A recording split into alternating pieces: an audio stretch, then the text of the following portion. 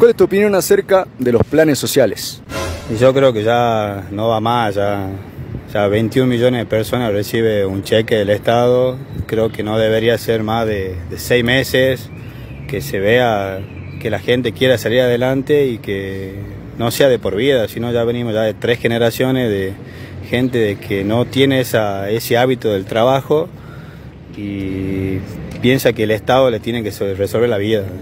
Ya pasó este el último caso de la televisión que salió esta mujer la, que la llamaron la, planera, planera digamos, ya le bajaron todos los los planes que tiene, pero tiene razón, digamos, en el sentido de que por qué vaya a laburar por la misma plata que recibe tomando mate en su casa.